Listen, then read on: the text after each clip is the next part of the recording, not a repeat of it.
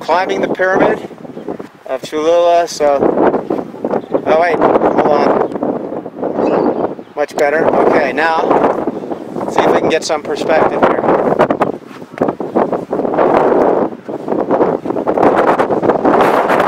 Okay, this very strong. Right at the top now.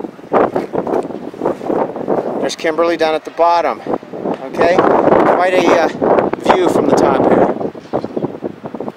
There's Cholula. And uh, a lot of churches. Very religious place. And on the other side, we have Popo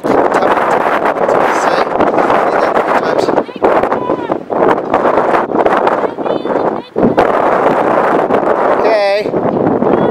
Bye. There's Kimberly down at the bottom. All right. Yeah, will do.